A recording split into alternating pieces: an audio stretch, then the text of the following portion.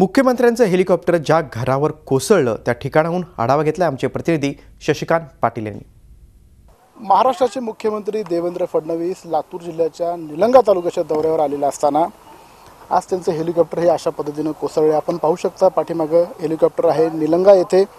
हेलिपॅडवर आल्यानंतर अवघ्या काही मिनिटामध्ये हे हेलिकॉप्टर या ठिकाणी कोसळल्याचं आपण पाहतो एका भरत मा मारुती कांबळे यांच्या घरावरती हे हेलिकॉप्टर कोसळले आहे. ज्याच्यामध्ये ते सुद्धा जखमी झालेले आहेत. आणि मुख्यमंत्री या सगळ्या अपघातातनं बालंबाल बचावलेले आहेत.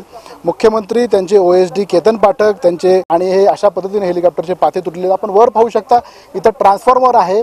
या वायरलाच हेलिकॉप्टरचे पाते अडकले आणि एक छोटा स्पार्क त्या ठिकाणी झाला आणि लागलीच हे हेलिकॉप्टर या ठिकाणी कोसळल्याचं आपण पाहत आहात. जवळच इथं हेलिपॅड आहे.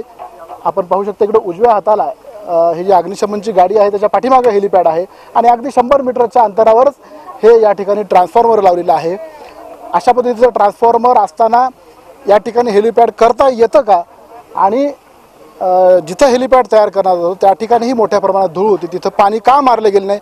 आणि अशा पद्धतीचं या ठिकाणी उंच वायर असताना किंवा ट्रान्सफॉर्मर असताना या ठिकाणाहून हेलिकॉप्टर उडण्याची परवानगी देता येते का किंवा हेलिपॅड करता येतं का? या सगळ्या गोष्टींची शहानिशा आता होणं गरजेचं आहे. सुदैवानं मुख्यमंत्री यातनं वाचले आहेत मात्र भविष्यात अशा पद्धतीच्या दुर्घटना होऊ नयेत याची काळजी घेणं गरजेचं आहे. Shashikant Patil Zee media Latur.